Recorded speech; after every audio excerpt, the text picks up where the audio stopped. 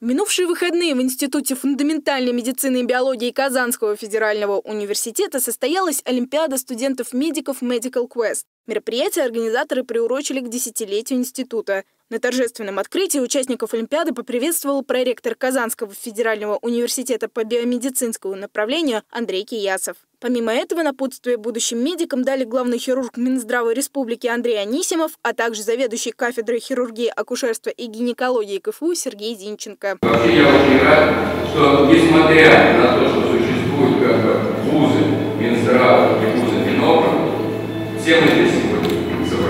В этом году участие в Олимпиаде приняли команды из девяти регионов – Саратовской, Курской, Белгородской областей, Республик Башкортостан, Татарстан, Мариэл, Ханты-Мансийского автономного округа, Москвы и Санкт-Петербурга. Это первая Олимпиада, в которой мы участвуем именно совмещенная с неотложной помощью, ну, Олимпиады по неотложной помощи и по хирургии. А, надеемся не, скажем так, не запариться на молодежном сленге, потому что все-таки это спектр знаний совсем противоположный, как хирургии, так и неотложной помощи. Надеемся остаться живыми.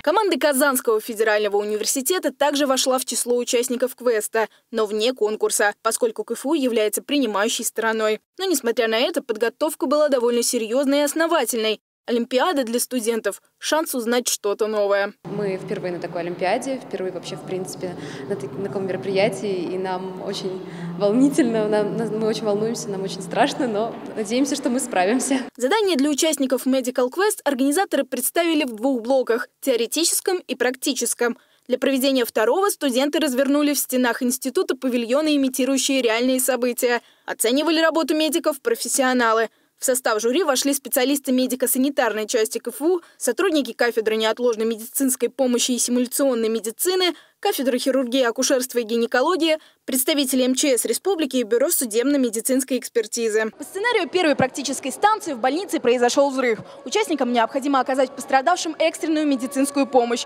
На все про все 40 минут. У каждого пациента есть своя история. К примеру, на этой станции помощь пациенту уже оказывает врач с ожогами первой и второй степени. Участникам необходимо продолжить сердечно-легочную реанимацию и помочь коллеге. Это очень э, необычный опыт, так скажем. На самом деле это интересно. Э, хочется посмотреть на реакцию ребят, которые сейчас придут и будут пытаться мне помочь. Число призеров по итогам Олимпиады вошли команды Северо-Западного государственного медицинского университета имени Мечникова из Санкт-Петербурга и Белгородского государственного национального исследовательского университета. Победу одержали представители Саратовского государственного медицинского университета имени Разумовского. Маргарита Михайлова, Александр Кузнецов. UniverNews. News.